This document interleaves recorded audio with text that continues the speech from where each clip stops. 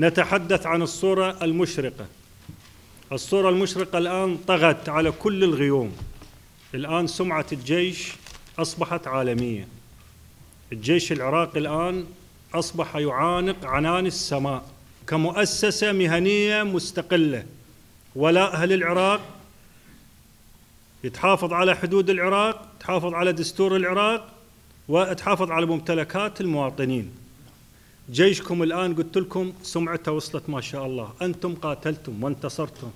يجب أن نفعل الاستخبارات ونفعل العمل التعرضي بالمناطق الصحراوية ونمسك الحدود بقوة. انتهى الموضوع. أنا أتمنى لكم التوفيق وبارك الله بالجميع.